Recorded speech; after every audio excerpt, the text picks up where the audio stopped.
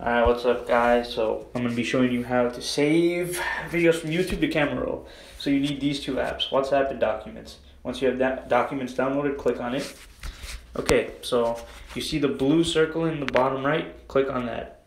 Okay, now go to the address bar. Type in YouTube to MP4. Okay, hit the first link.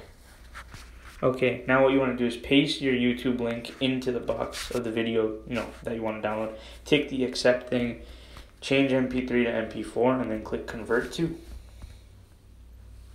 Okay, now it's going to take some time to download. Depending on how long the video is, you know, the longer it'll take to download, and vice versa. All right. Wonderful.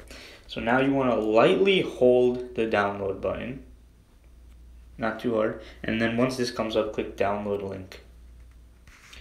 Now, depending on what file in your Documents app you want the, what folder in your Documents app you want the file to download to, hit this, Documents, whatever, and then uh, change it to that file. Now, I want to download to Downloads, so we're going to do that, and then click Save.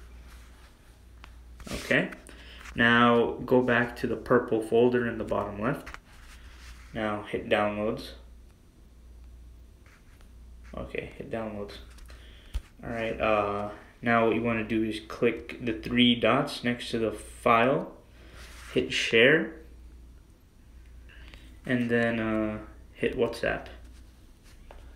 Now, as long as you have WhatsApp set up, all the contacts you text will show up here. So just uh, send it to whoever Send it to that guy. Alright, and send it.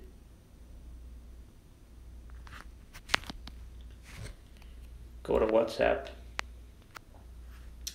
And uh, it should pop up over here. So, yeah, what you want to do then is click on the video. My voice is going to cut off here. So, yeah, click on the video.